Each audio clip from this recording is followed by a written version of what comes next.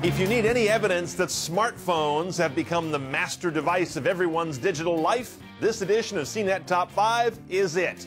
I'm Brian Cooley with the top five most popular products on CNET as of July 2010, and they're all phones. Number five, the Samsung Captivate. Yes, AT&T does offer something other than the iPhone, and this is their best Android offering, and you're fascinated by it. It has an amazing 4-inch AMOLED display, great call quality. Wait, great call quality on AT&T? Unfortunately, AT&T's been out drinking with Apple too many nights, and they've learned the over-control shtick, so no side-loading of apps on this guy, and for some reason, no flash for the camera. But you still think it's a great iPhone alternative in a world that often forgets there are such things. Number 4, the Sprint Evo 4G. You know, the first 4G phone if 4G is turned on in your area. But you're still going to pay a $10 4G surcharge, whether it is or not, and that irks us. This guy is also a mobile hotspot and has an almost too big 4.3 inch display. It also shoots HD video. And like your first bicycle, it has a kickstand. Number three, the Droid Incredible. A ballsy name, but luckily for Verizon, they don't end up looking stupid because the Incredible is, and you believe it. It's got a CNET editor's choice, so we're with you on this one.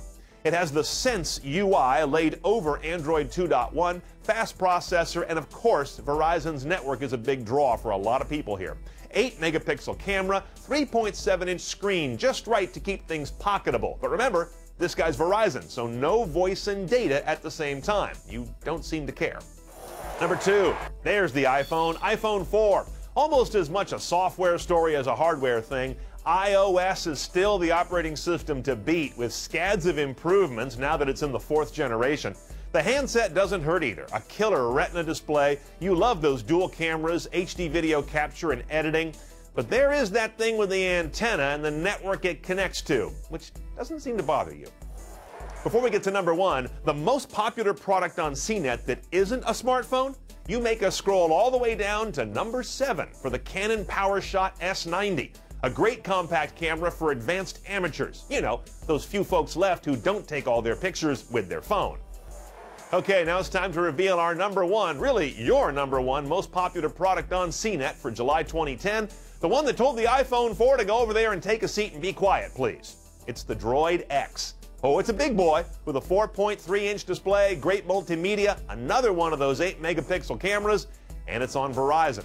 But no front facing camera, and at least we wish it ran the Sense UI instead of Moto Blur.